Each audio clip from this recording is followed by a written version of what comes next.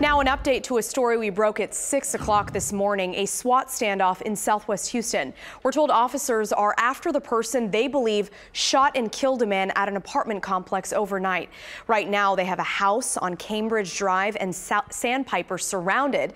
Channel 2's Lee Ferlisi is live at the scene. Lee, good morning. What's the latest? Well, it's a very active scene here. We want to get you right to it. The SWAT team has surrounded the home of a man that they believe is the suspected shooter. He is suspected of killing another man earlier this morning. As you can see on top of that big black SWAT truck there, there are snipers sitting on top of it. It appears that they are trying to establish communication with the person inside. Throughout the last half hour, we've heard police call out a person's name and say, dial this number. They've done that repeatedly.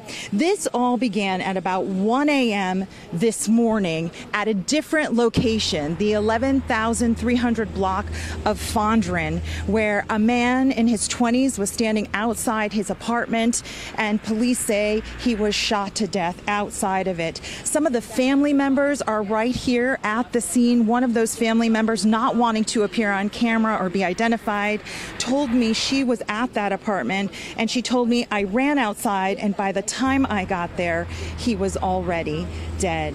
Back at the scene here, it looks like the SWAT team is standing at the ready. HPD is here. There are ambulances, there are fire trucks.